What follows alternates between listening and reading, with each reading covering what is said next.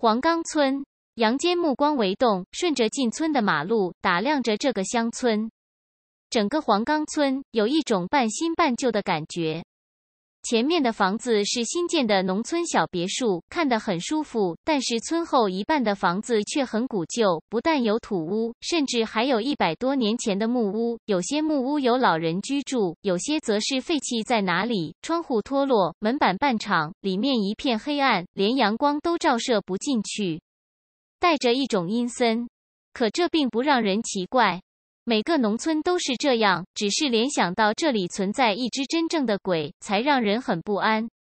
喂，刘小雨吗？杨坚决定先问个情况，他拨通了卫星定位手机。杨坚，你这个电话打的正好。上次的事情，我这里还有一些东西没有来得及和你说，是那个赵开明的资料，他精神评估这块有点问题，人估计很难相处。你最好注意一点，如有必要，不要和他起冲突，毕竟你们今后都是同事。刘小雨那边，他拿着一份关于赵开明的资料道。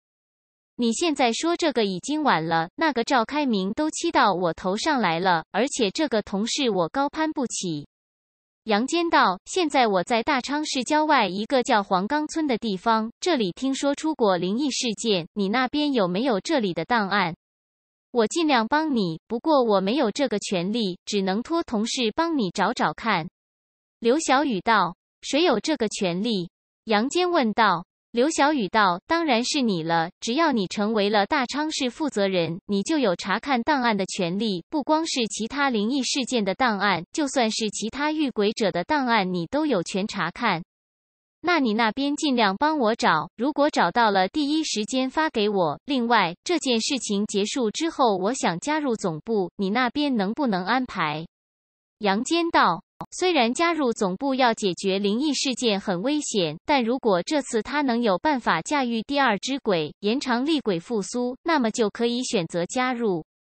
负责人的权力太大了，而且行动也很方便，值得去付出。刘小雨听到杨坚要加入总部，有些兴奋道：“只要你同意的话，我这边很快就安排人员和你接头，进行了短暂的训练，还有精神评估之后，你就可以就职了。时间大概一个礼拜之内。”很好，不过我要接替赵开明，成为大昌市的负责人。杨坚道：“这这个我办不到，得看上面安排。”刘小雨道。杨坚道：“如此大昌是没有负责人的情况之下呢？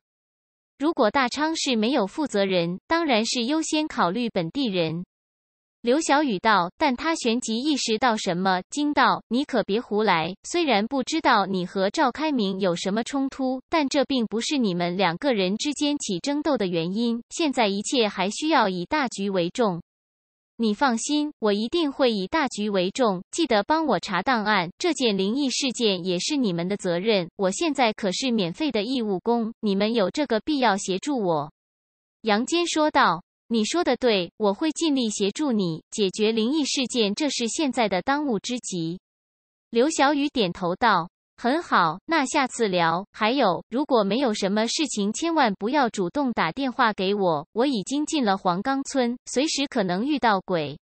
杨坚说完，立刻就挂掉了电话。刘小雨那边此刻皱起了眉头，他立刻将这件事情报告给了队长赵建国。赵建国听了笑了笑，这算什么问题？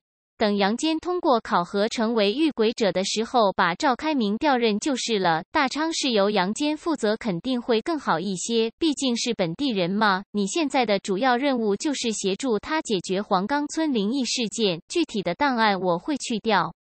如果他能单独解决两起灵异事件，给他一点特例不算什么。听这么一说，刘小雨就放心了。活下去一切都好办，活不下去说什么都没用。杨坚看着手中的卫星定位手机，脑海之中浮现出了周正死前那凄惨的画面。那会是自己将来的下场吗？进了村，他看见了张涵、叶俊等几位小强俱乐部的人站在那里，似乎神色有些凝重，好像发现了什么。就连自己的到来也没有引起这些人的注意，只是随意的瞥了一眼。杨坚看了一眼，眸子一凝。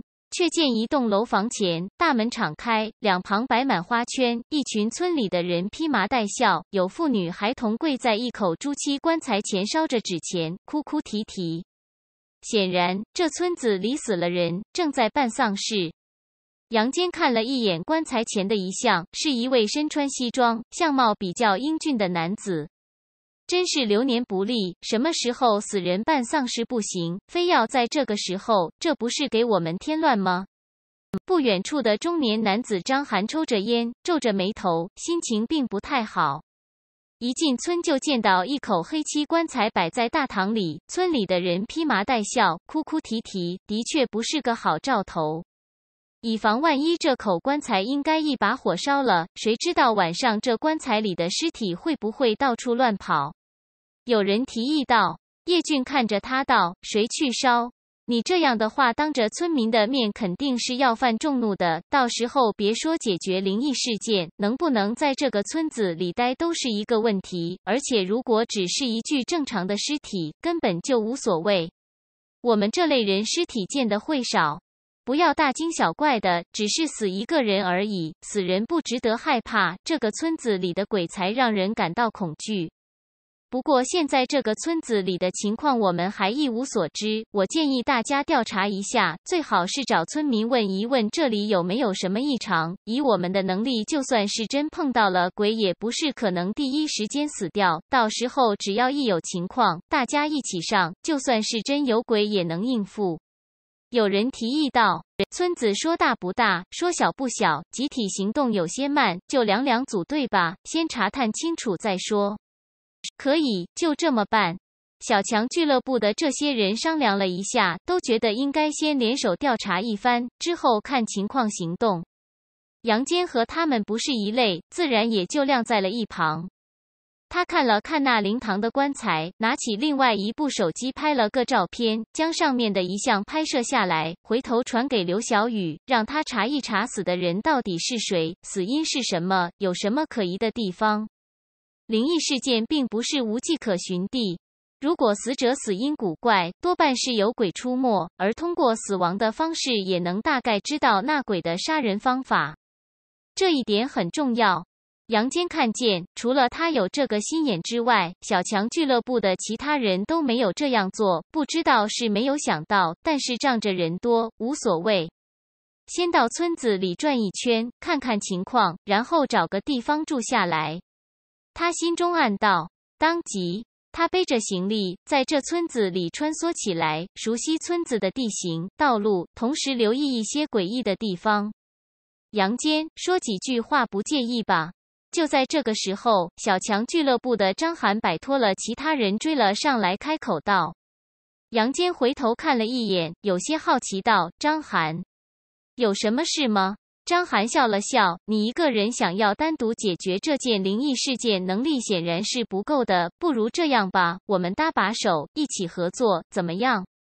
你是俱乐部的人，怎么不去找俱乐部的人合作？找我做什么？”杨坚边走边道：“我要找，肯定是找最有能力的人合作。他们说实话，和你比还是有点差距的。我觉得我们合作的成功率最大。”张涵十分诚恳地说道。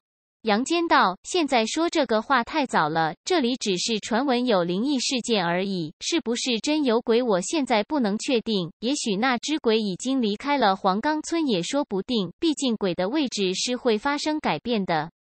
如果真有鬼，你再来和我谈合作的事情。”张涵讪讪一笑：“这倒也是。”咳咳咳。就在杨坚和张涵聊天的时候，突然一声咳嗽声从背后传来，近在咫尺，几乎要贴在自己身上了。而且这声音有些虚弱和无力，像是病入膏肓了一样。谁？张涵瞬间惊出一身冷汗，他回头一看，却什么人都没有，只是从声音传出来的方向看到了一栋老旧的木屋。这木屋已经废弃了，屋顶上的瓦片大半塌陷，门板都已经消失了半块，里面昏暗潮湿，连家禽、野狗都不愿意躲进去。不会这么倒霉吧？张涵喃喃道。杨坚目光微动，他大步走了过去，一脚踢开了那木屋的门板。砰！木屋的门板因为老化的缘故，直接裂开，掉在了地上，里面的一切呈现在了眼前。除了杂草之外，空无一物。没有人吗？杨坚脸色有些凝重起来。是鬼吗？张涵问道。杨坚道：“不知道，没有感觉到危险。也许是路过的老人咳嗽了一声。毕竟这村子的小道很多，有人路过也很正常。大惊小怪的只会自己吓自己。你不要跟着我了。如果这里真的有鬼，到时候你再来通知我，之后我才能考虑是否和你们联手。”他根本就没有想过一个人对付这只鬼，故意放出消息让俱乐部的人来，只是想来个螳螂捕蝉，黄雀在后。所以说自己并不打算冲锋在最前面。既然你都这样说了，那我就不强求了。祝你好运吧。张涵觉得这附近不太安全，急急忙忙的便离开了。